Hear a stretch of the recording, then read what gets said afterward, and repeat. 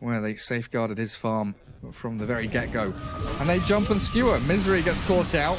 Does he have a chance to dive? He's yours up, the Death Ward's out, and the Supernova's forced. Stormhammer, the four-man stun! Beautiful! Ravage from Zibe! In comes the Prophet, but he hasn't BKB, so he is all stunned up. Now he turns it.